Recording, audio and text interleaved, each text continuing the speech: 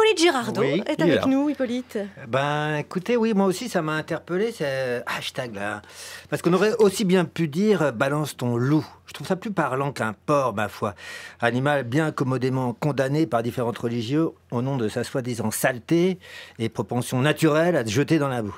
Alors, cette saleté assumée, revendiquée, oui, je patauge dans la boue parce que je le vaux bien, sert idéalement notre hypocrisie vis-à-vis de ce que notre condition humaine nous oblige à faire dans ce qu'on appelait les lieux d'aisance. On détourne les yeux de notre caca et le cochon se roule dedans. Pouah, haro sur le porc. Et là, Svanstein n'est pas un porc, mais un loup. Pas le fameux loup pour l'homme, mais le loup pour la femme. Et je pensais à ça justement en regardant le remake de Cendrillon où vous jouez le rôle clé de la marâtre. Rôle clé car on a bien compris que dans la plupart des contes de fées, la mère est morte, ce qui permet à l'héroïne de pouvoir détester sa mère à travers le personnage de la belle-mère, bien évidemment. Ce qui est ici pimenté par le fait qu'en fait, en vrai, l'actrice qui joue Cendrillon, bah, c'est votre fille, en vrai.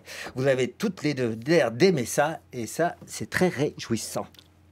Et les remakes des contes, c'est bien, moi. Ça me rappelle les cours de français où notre professeur de français nous expliquait que souillon veut dire sale, dégoûtante au sens propre, mais, des- mais n'était pas du vieux français pour couillon. Non.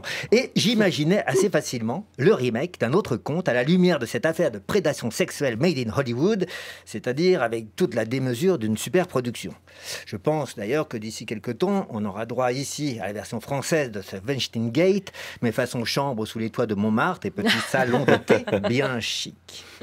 Et alors j'imaginais non pas Blanche-Neige et les sept nains, c'est trop facile, trop partouze Marc Dorcel, mais davantage un joli chaperon rouge finalement. Oui, finalement dévoré par le loup, image beaucoup plus juste que bavé dessus par un porc.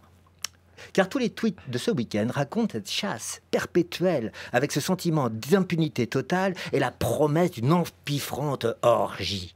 Le loup, le Weinstein, se balade dans les couloirs des bureaux la bite à l'air en sautant sur tout ce qu'il pense pouvoir attraper, fort de son pouvoir hiérarchique.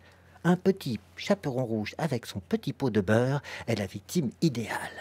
Et ce qui est bien avec les contes, n'est-ce pas? C'est la morale. À la fin du conte de Perrault, écrit par Perrault, ce conte du chaperon rouge, c'est le loup qui dévore l'enfant. Et pourquoi? Parce qu'elle a croisé le loup et qu'elle lui a donné les indications pour aller chez la grand-mère. La morale est très claire. Les filles, n'allez pas là où se trouve le loup et ne donnez pas le numéro de votre chambre. En gros, restez enfermés forever. Femme à maison, loup sans bandaison.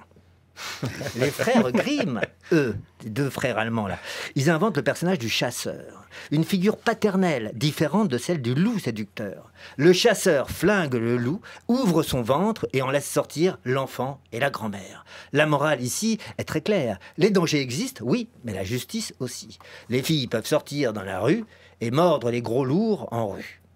Voilà, je pensais à ces deux morales et je me disais qu'il serait bon dans les prochains jours de voir la version des frères Grimm en vrai. Parce que quitte à ce que la guerre des sexes ait lieu, autant qu'elle soit totale. Déjà, le gouvernement veut retirer la Légion d'honneur à notre loup Alpha. Formidable, mais pourquoi lui seulement? Moi, je pense que d'autres pourraient se la faire sucrer, cette Légion d'honneur. Pour les mêmes raisons, sûrement non, si on cherche bien. Ce serait alors croquignolet et non croquignolesque, comme a si improprement dit le locataire de l'appartement le plus mal décoré de France. à se demander qui était son professeur de français à ce garçon. Je sais pas, le même que celui de Ségolène Royal. euh. Probablement. Et de Raffarin.